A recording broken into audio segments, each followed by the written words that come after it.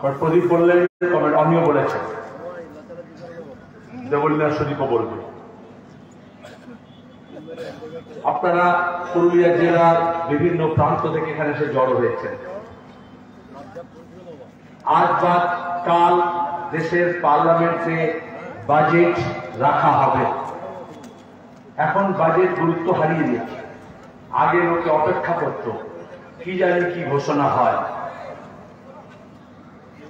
আমাদের এখানে যারা উপস্থিত আছেন, যারা এখানে নেই, তারা কেউ মনে করেন আগামীকাল নির্মলা সীতারামন, নরেন্দ্র মোদীর অর্থমন্ত্রী যখন বাজেটে বক্তৃতা করবেন, বাজেট রাখবেন, প্রস্তাব রাখবেন, আমাদের দেশের বেকার ছেলে মেয়েদের কাজের কোনো সন্ধান দেবেন? চাকরি বাকরির কোনো সুযোগ তৈরি করবেন? যারা প্রতিদিন জিনিসপত্রের দাম বাড়ছে বলে বিরত খাবার জিনিসের জ্বালানির ওষুধের, চিকিৎসা, শিক্ষা। কেউ মনে করেন যে মোদী সরকারের অর্থমন্ত্রী? এইগুলো সুরাহা করবে। পেট্রোল, ডিজেল, কেরোসিন তেল, রান্না গ্যাসের দাম কমিয়ে দেবে। রেল ভাড়া, বাস ভাড়া কমে যাবে। গ্যাসের দাম কমে যাবে। খাদ্যদ্রব্যের ওপরে যে জিএসটি লাগিয়েছে, প্রত্যাহার হয়ে যাবে। জীবনদায়ী ওষুধের উপর যে জিএসটি লাগিয়েছে, যা ঘটি বাটি বিক্রি করে লোকের মানুষকে নিয়ে চিকিৎসা করাতে হয়, তার খরচ কমে যাবে। কিন্তু বাজেট হবে সরকার কি করছে গত কয়েকদিন ধরে? যেদিন থেকে মোদী এসছেন, আদানি, তার আগে নাম শোনা যায়নি। আগে টাটা, বিড়লা গোয়েঙ্কা ডালমিয়া ঝুঁঝুনওয়ালা মফতলাল, এইসব নাম শোনা যেত। তাহলে এক একটা মন্ত্রী, মুখ্যমন্ত্রী, প্রধানমন্ত্রী হন। ওই রকম ট্যাকে গুজে কিছু পুঁজিপতি সামনে চলে আসে। যেমন মমতা যখন এলেন, তখন Saradha, Sudipta Sen, Alchemist KD Singh, Rose Valley, এসব চিটফান্ডের নাম চলে এলো না? এবং মোদী যখনই এলেন, তার সঙ্গে সঙ্গে আদানি চলে এলেন। মোদির সঙ্গে আদানি এলেন। না, আদানির সঙ্গে মোদি এলো, পরে গবেষণা করে জানা যাবে।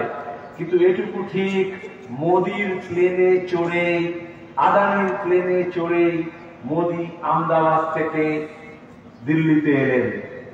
দু হাজার চোদ্দ থেকে মোদীর সরকারের একটাই কর্মসূচি, আমাদের ব্যাংক, আমাদের বিমা, আমাদের রেল, আমাদের পোস্ট অফিস আমাদের বিমানবন্দর, আমাদের এয়ারলাইন্স কোম্পানি, এই সব বড় বড় পুঁজিপতিদের হাতে দিয়ে দেওয়া, আদানি আম্বানিদের হাতে দিয়ে দেওয়া। এমনকি আমাদের ইন্ডিয়ান অয়েল, ভারত পেট্রোলিয়াম, এটাও দিয়ে দিতে চেয়েছিল আমাদের সবকটা ব্যাংক আমাদের ইন্স্যুরেন্স কোম্পানি লাটে তুলতে চেয়েছিল। যেখানে আমাদের ইউনিয়ন সংগঠিত আছে রাজঝান্ডা আছে, তারা লড়াই করে রেখেছেন। কিন্তু আমরা কি দেখছি? দিল্লিতে মোদীর সরকার হোক আর আমাদের রাজ্যে মমতা ব্যানার্জির সরকার হোক, বেকারি বাড়ছে হুহু করে, মিথ্যা হচ্ছে, কিন্তু বেকার ছেলে মেয়েদের কাজের সন্ধান দিতে পারছেন না। মোদী বলেছিল বছরে দু কোটি বেকারকে কাজ দেবে। দু হাজার চোদ্দ থেকে তেইশ। আট বছরে ষোলো কোটি বেকারের কাজ হওয়ার কথা। মিথ্যা বলেছেন। এখন বলছেন কাজ দেব। এখন মরার সময় হরিনাম ওই যে শুনলেন অমিয় পাত্র বলেছিল। দু হাজার বাইশে বলেছিল, সব মানুষের ঘর হবে ঘর ছাড়া একটা লোক থাকবে না আর এই যে এখানে আমরা ফেস্টুন লাগিয়েছি গ্রামে গ্রামে লাল ঝান্ডা নিয়ে আমার যোজনা দুর্নীতির বিরুদ্ধে লড়াই হচ্ছে গোটা দেশে আমাদের রাজ্যেও পঞ্চায়েত পুরসভা আবাস যোজনার টাকা খেয়েছে নাম লেখানোর জন্য টাকা নিয়েছে টাকা জমা না দিলে ইনস্টলমেন্ট টাকা ঢুকবে না বলেছে যেরকম যখন মজুরির টাকা পাচ্ছে না লোকে বেকার ছেলে মেয়েদের কাজের কথা দুঃসময় অসময় যখন কাজ দরকার যখন মাঠে কাজ নেই তখন কাজ দেয়নি যাদের কাজ করার কথা তাদের জব কার্ড নেই যাদের জব কার্ড আছে তাদের কাজ নেই যারা কাজ করেছে তাদের মজুরি নেই আর যারা মজুরি যখন ব্যাংকে টাকা ঢুকেছে কারোর নামে টাকা আর কেউ খেয়েছে। দিল্লির সরকার এখন বলছে টিম পাঠাবো কাগজে লিখছে হয়ে করে। কেন্দ্রীয় টিম আসছে। মিড ডে মিলের খাবার কি হচ্ছে দেখার জন্য? দুদিন পরে আইসিডিএস কি হচ্ছে সেটা দেখার জন্য আসবে। ঘরের টাকা কোথায় গেল সেটা দেখার জন্য আসছে। যেন মোদী সরকার এই গতকাল জন্ম নিয়েছে। তাহলে দু হাজার চোদ্দ থেকে তৃণমূল চুরি করছিল, কিন্তু কেন্দ্রীয় সরকারের টনক নড়ছিল না। যখন সেপ্টেম্বর, অক্টোবর, নভেম্বর, ডিসেম্বর মাসে লাল ঝান্ডা কাঁধে নিয়ে রাস্তায় মানুষ নেমেছে, যখন আমরা বলেছি, গ্রাম জাগাও, চোর তাড়াও। গ্রাম জেগেছে ওদিকে মোদী সরকারের ঘুম ভেঙেছে, আরে আমার দিদি ভাইকে তো তাড়াতে চাইছে, তাই ওখান থেকে টিম আসছে। ওই টিমের তো ভাষা নেই। ওই দপ্তর তো আগেও ছিল। তাহলে শিক্ষা দপ্তরে চুরি হলো। কেন্দ্রীয় সরকারের পরিকল্পনা যে টাকা, হাতে কলমে কাজ শেখানোর কথা ভোকেশনাল ট্রেনিং এর কথা, বৃত্তি শিক্ষার কথা, আমি নিজে কারিগরি শিক্ষামন্ত্রী ছিলাম।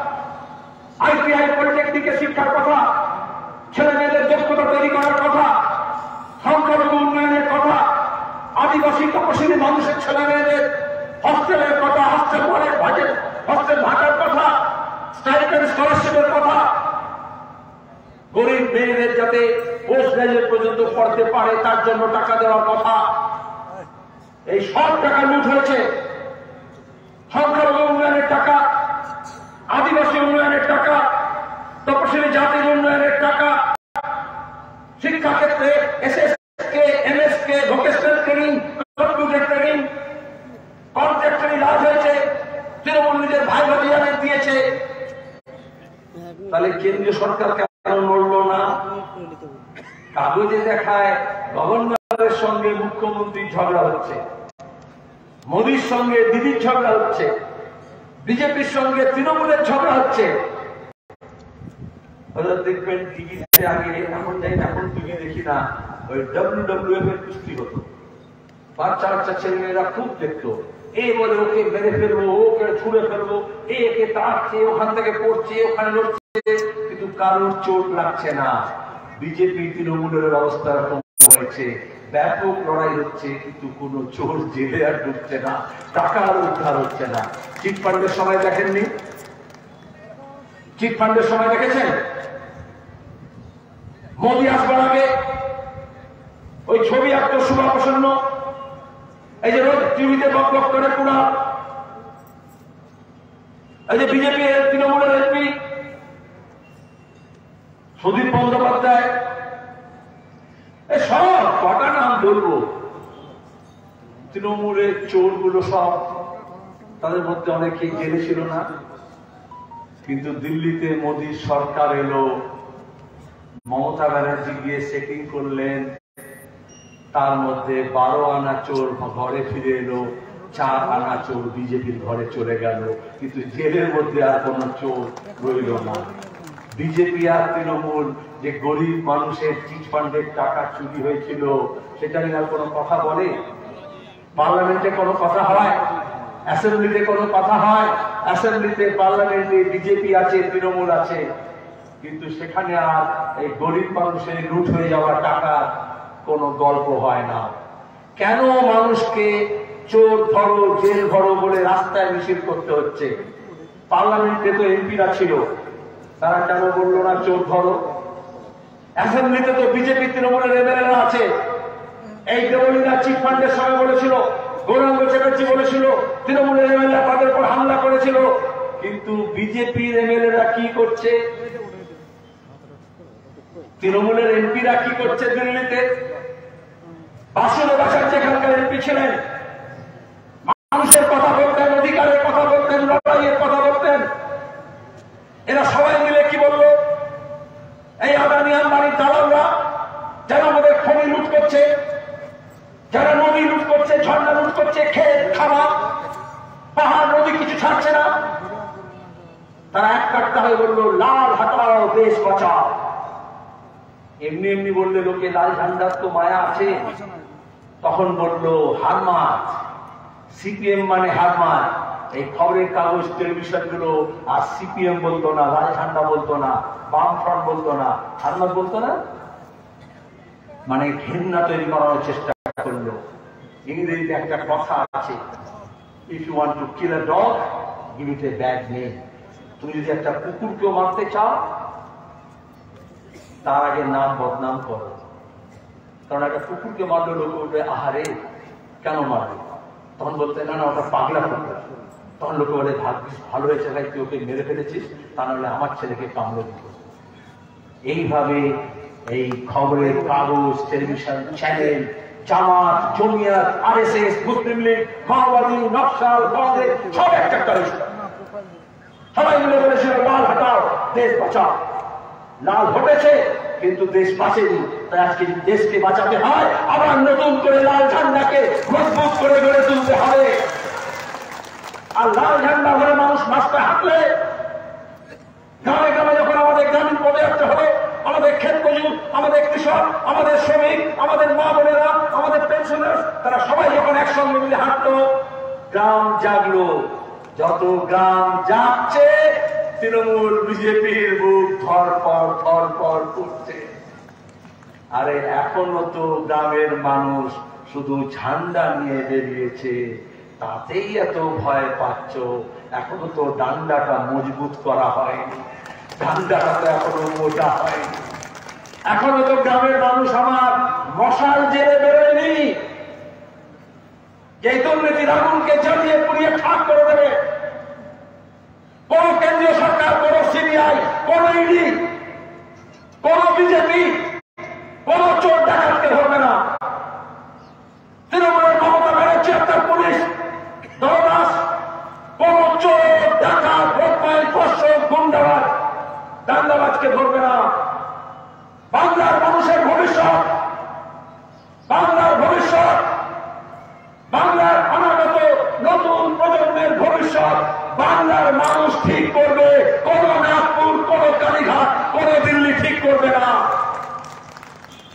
ব্রিটিশ সাম্রাজ্যবাদ থেকে, কংগ্রেসের রাজত্ব থেকে আজকের বিজেপি আর এস জানে।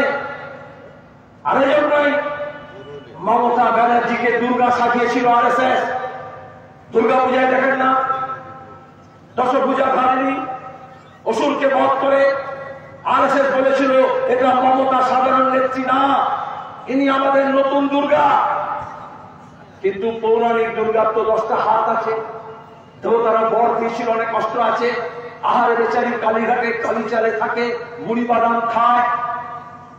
তাহলে ওকে টাকা, পয়সা, অস্ত্র, শস্ত্র, মাওবাদী, দানা, পানি সব দিতে হবে।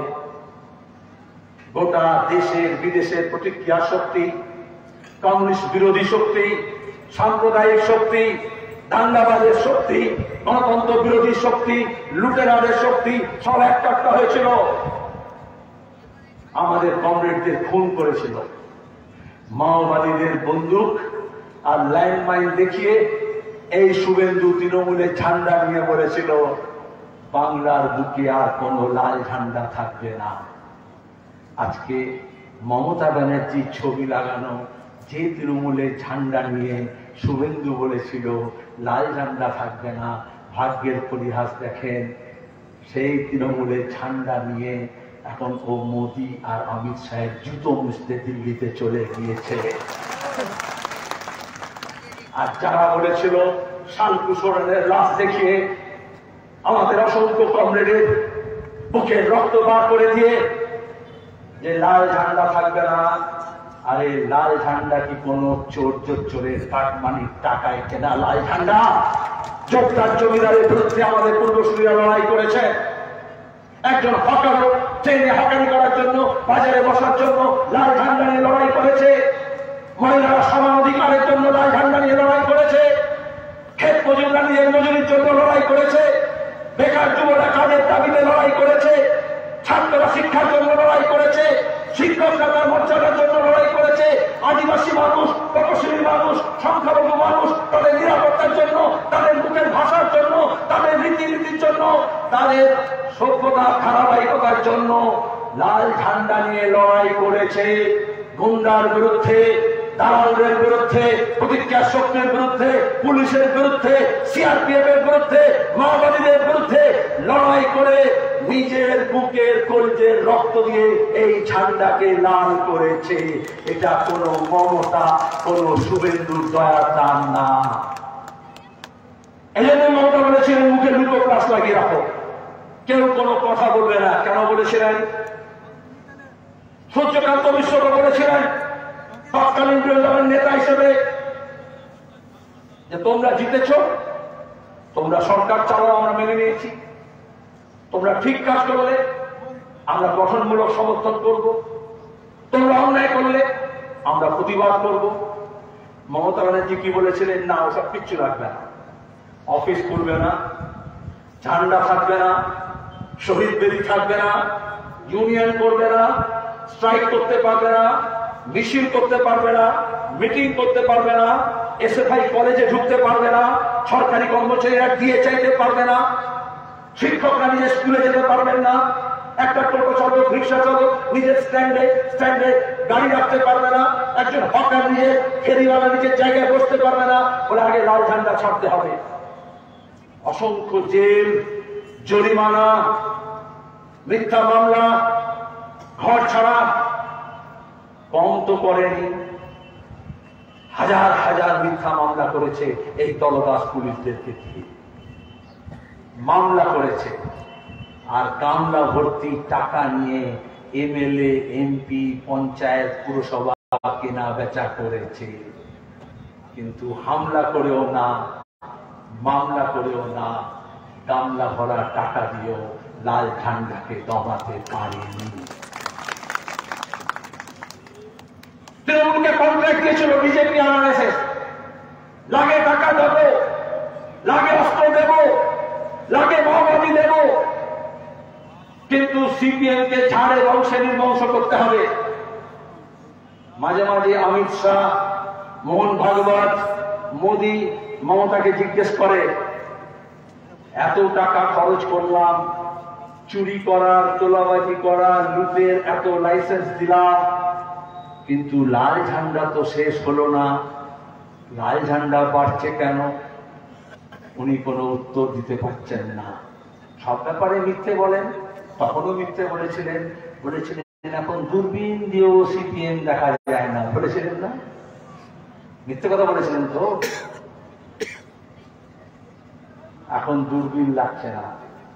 এখন বিজেপি আর তৃণমূলকে প্রতিদিন সিপিআইএম কে গাল না দিলে মুখে জল তুলছে না, লাল ঝান্ডাকে গাল দিতে হচ্ছে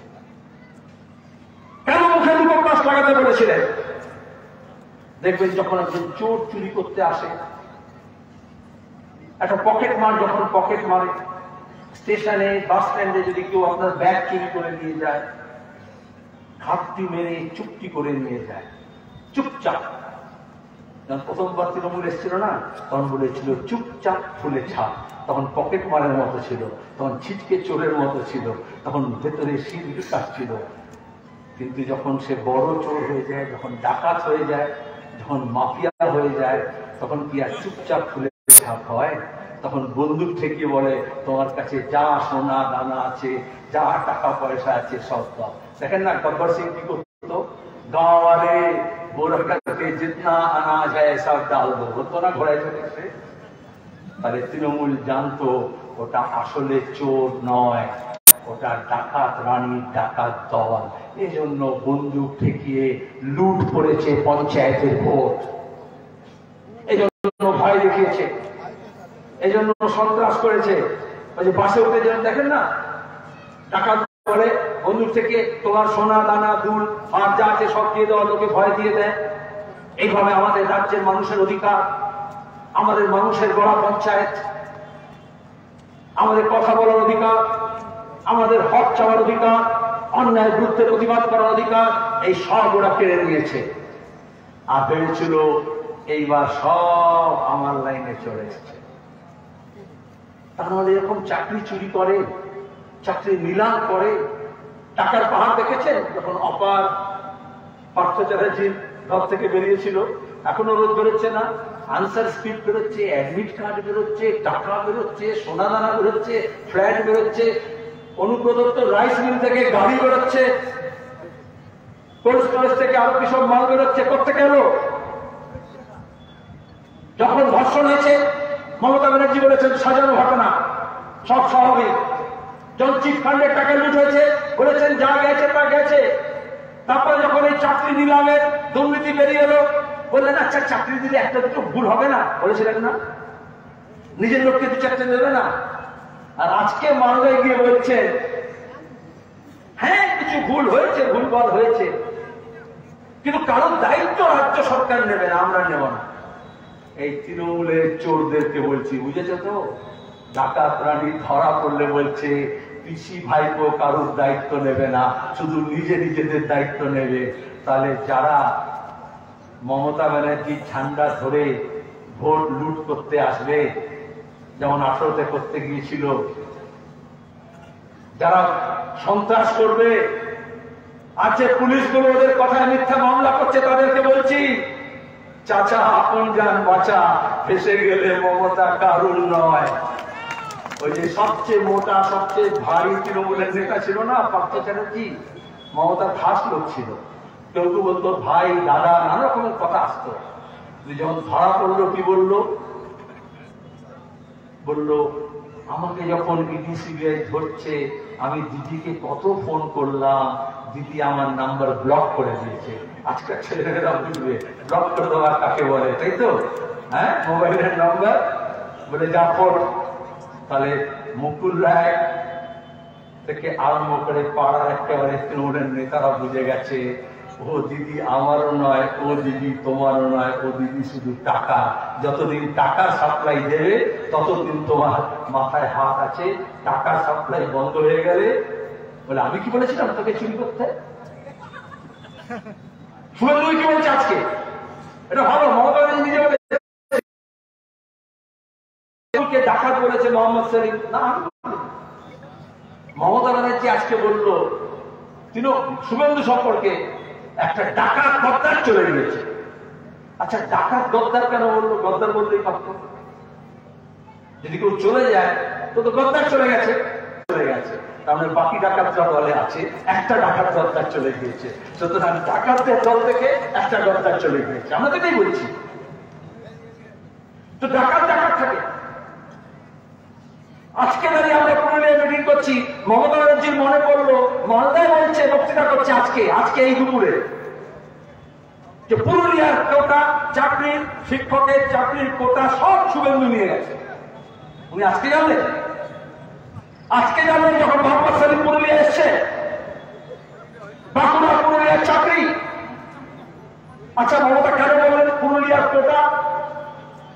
তার মানে মমতা ব্যানার্জি এই চাকরি কোটাগুলো ভাগ করেছিলেন আপনাদের মনে আছে তৃণমূলের নেতারা বলেছিল মমতা বলেছিল সবাই অমুকের কাছে নাম পাঠিয়ে দে, মন্ত্রীদের কাছে নাম পাঠিয়ে দে। তার মানে মমতা ব্যানার্জি কালীঘাটে বসে অভিষেক আর মমতা কোটা ঠিক করে দিয়েছিল। তাহলে এসএসসি পরীক্ষা এমএসসি পরীক্ষা মাদার সার্ভিস কমিশনের পরীক্ষা স্কুল সার্ভিস কমিশনের পরীক্ষা পাবলিক সার্ভিস কমিশনের পরীক্ষা টেট পরীক্ষা, সব জালিয়াতি ছিল। গোটা মমতা ভাগ করে দিয়েছিলেন, তার দায়িত্ব নিতে হবে। তার কোটা কে দিয়েছিল? আর এখন কাম ধরে কোর্টে গিয়ে বলছে এবার থেকে সব ঠিক পরীক্ষা হবে, তারপরে যে এর মধ্যে আবার ডিসেম্বরে যে পরীক্ষা হয়েছে, তার আনসার স্ক্রিপ্ট তৃণমূলের নেতার বাড়িতে পাওয়া গেছে। আর তৃণমূলের নেতা নেত্রীরা বলছে ওরা কত নেতা নেত্রী আসে, কত যায়, কত জনের নাম মনে রাখব। তাহলে বিজেপি শুভেন্দু, বা শুভেন্দুর বিজেপি আর তৃণমূলের মমতা, আর মমতার তৃণমূল, ওদের মধ্যে কোনো তফাৎ আছে? দুজনেই জাতে মাতাল, কিন্তু তালে ঠিক আছে। পরিষ্কার কথা। এই জন্য দেখলেন না অ্যাসেম্বলিতে কিরম গুপচুপ গুপচুপ করে কথা হলো না মাঝখানে? নবান্ন, চোদ্দ তলায় গিয়ে অমিত শাহ, মমতা, মোদীর মধ্যে, মমতার মধ্যে কিছু হলো না গুপচুপ গুপচুপ কেন হলো কিসের কথা?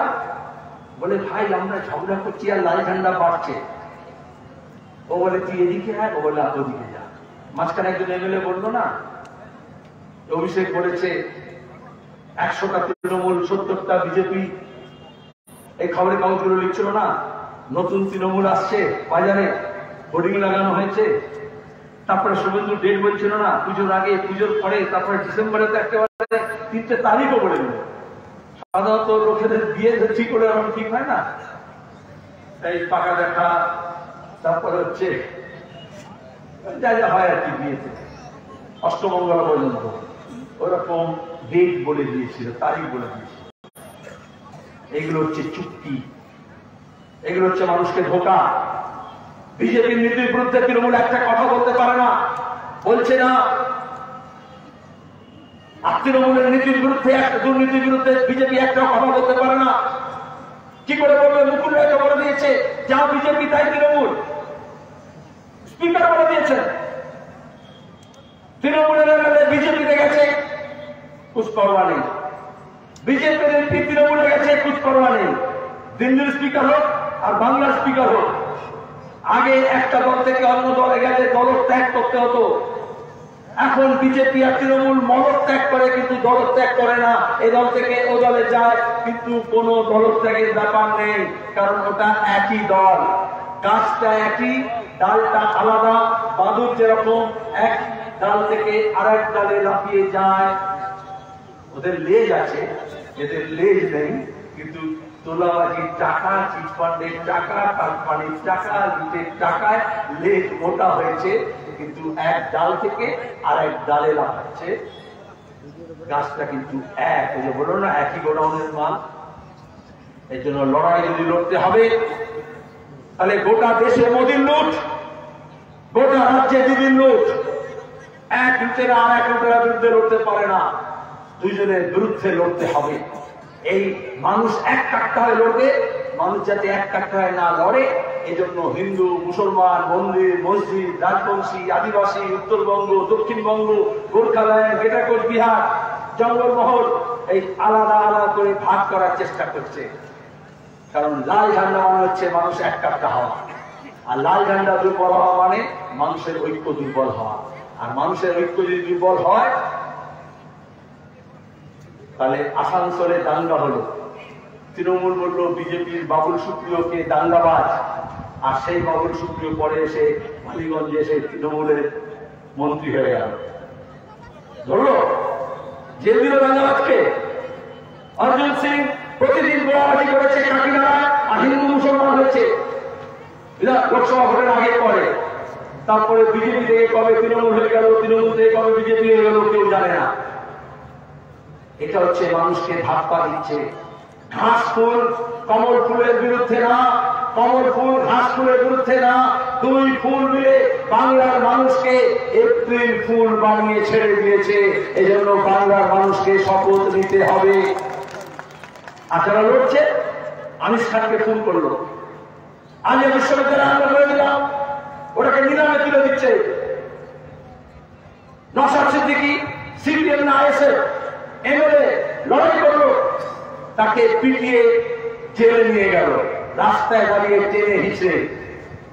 বিজেপির নেতারা যখন প্রতিবাদের নামে নাটক করে, তখন পুলিশ রসগোল্লা নিয়ে যায়, নালে মাংস ভাত খাওয়ায়। আর আমাদের মীনাক্ষীরা যখন লড়াই করে, তখন পুলিশ তাদেরকে টেনে হিচড়ে, নবান্ন অভিযানের সময় দেখেছি কীরকম জেলে নিয়ে যায়। তাহলে বোঝা যাচ্ছে তো লড়াইকে করবে আর দালাল তারা। এজন্য আপনাদের কাছে আমরা বলছি, সবাইকে এক একটা হয়ে লড়তে হবে। এখানে বিজেপি ছিল না।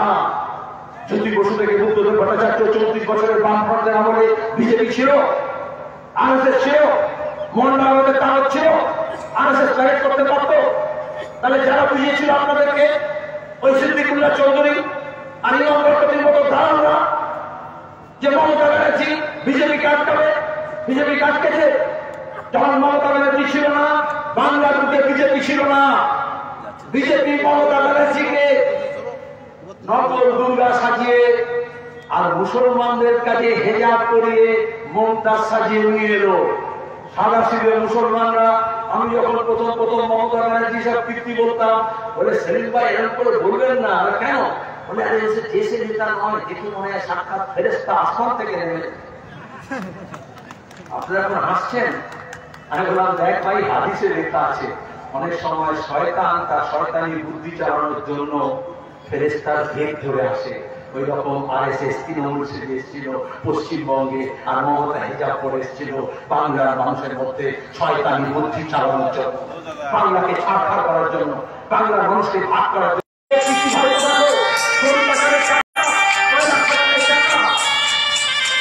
না না কালীঘাটে যাওয়া যাবে না। কুতুব মিনারের নিচে গিয়ে দেখতে হবে কি আছে। পাপি মসজিদের নিচে গিয়ে দেখতে হবে কি আছে। তাজমহলের নিচে কি আছে দেখতে হবে। তাহলে ভাবুন, বিজেপি তাজমহলের নিচে খুলে দেখতে রাজি আছে। কুতুব মিনার খুলে দেখতে রাজি আছে। কিন্তু মমতা ব্যানার্জির খাটের তলায় আর কালির চালের নিচে কি আছে, ওইটা দেখতে রাজি নয়। তাতে পরিষ্কার বুঝতে পারবেন, এই রসুনের চাষ হয়েছে রসুন তো খারাপ না? তো রসুনের দেখবেন আলাদা হয়। কিন্তু পেছনটা একই জায়গায় বাঁধা থাকে। ওরকম বিজেপি আছে কিন্তু পেছনটা এক জায়গায় বাঁধা আছে। এই জন্য চোরটা জেল বলে যখন বলছি তখন ওদের রাগ হচ্ছে, পুলিশেরও রাগ হচ্ছে। আচ্ছা পুলিশের কেন রাগ হচ্ছে? পেছনটা একদিকে বাঁধা আছে বসা পাচ্ছে। আরে পুলিশের কাজ ছিল চোর ধরো। পুলিশ করেনি। হয়েছে এখানে অনেকে মাস্টার মশাই আছে। কেউ কেউ টাকাও দিয়েছেন সেন্টারে ধন্যবাদ। ভুল নেবেন না। কিন্তু যদি স্কুলের মাস্টার ঠিক ঠিক পড়ায় তাহলে কি প্রাইভেট টিউশন যেতে হয়? আলাদা করে টাকা খরচা করতে হয়? তাহলে রাজ্যের পুলিশ যদি ঠিক ঠিক চোর ধরতো তাহলে কি ইডিসিবিআই কে ডাকতে হতো পুলিশ হাইকোর্টকে যে তোমরা দিল্লি থেকে আসো আর এখানে চোর ধরো টাকা উদ্ধার করো? তো টাকা তো এখানে ছিল। তাহলে উর্দি করেছে, মিথ্যা মামলা করেছে দালালি করেছে, ভোট লুটে সহায়তা করেছে, কিন্তু চোর ধরেনি। তখন আমরা বলছি চোর ধরো, জেল ধরো। আমরা কিন্তু বলিনি, টিএমসি ধরো, জেল ধরো। আমরা বলেছি, চোর ধরো, জেল ধরো। টিএমসি বলছে, আমাদের নামে কেন বলছে? তখন ওরাই বলে দিল যে ওরা চোর আছে। না আমরা বলেছিলাম, চোর ধরো, জেল ধরো। ওদেরও আমাদের সঙ্গে গলা মেলানো উচিত ছিল। তাই সেই সব তৃণমূল যারা চোর নয়, তাদেরকে বলব আসুন, আমাদের সঙ্গে গলা মেলান চোর বিজেপি হতে পারে, চোর তৃণমূল হতে পারে, কিন্তু চোর চোর, চোরকে ধরতে হবে। আর পুলিশ যদি চোর ধরে, জেলে ভরবে। পুলিশের চান্স ফেল করে দিয়েছে। ওরা হয়ে দাঁড়ায়নি। ইডি, সিবিআই এসছে। আজকে জাস্টিস অভিজিৎ গাঙ্গুলি বলেছেন, ওই সিবিআই অফিসারদের মধ্যেও কেউ কেউ আসলে সেও তো পুলিশ, সেও তো আইপিএস। টাকা পয়সার বসায় যখন হয় তো সেই পুলিশ কলকাতায়, সেই পুলিশ দিল্লিতে, সেই পুলিশ ইউপিতে, সেই পুলিশ ইডিতে, সেই পুলিশ সিবিআইতে। আমি বলছি না, বিচারপতি বলেছেন, সিবিআই এর কয়েকটা অফিসারকে যে এরা ঠিক ঠিক কাজ করছে না, এদের পাল্টাতে হবে। তাহলে বিচারপতি যদি বলেন, সিবিআই অফিসার ঠিক মতো কাজ করেনি, এদেরকে পাল্টাতে হবে, তাহলে পঞ্চায়েতের মেম্বাররা যারা ঠিক মতো কাজ করেনি, আমরা বলব না, ওদেরকে পাল্টাতে হবে। তাহলে যে এমএলএ, এমপি, কেন্দ্রীয় মন্ত্রী ঠিক ঠিক কাজ করেনি চুরিতে সহায়তা করেছে বা চুরি করেছে, কি তাদের পাল্টাতে হবে? আচ্ছা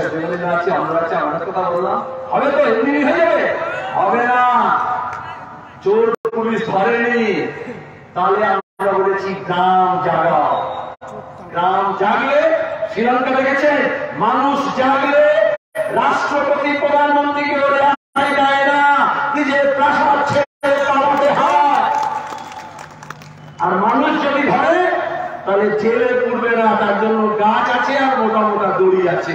ইতিমধ্যে মুর্শিদাবাদে আর মেদিনীপুরে শুরু হয়েছে। হবে নয় পেছনে যারা আছে, হবে নয় দু হাজার আঠেরো আর দু হাজার তেইশ, এক নয় আমাদের মা বোনেরা যখন নমিনেশন দিতে গিয়েছিল, এই অপরাধ পুলিশ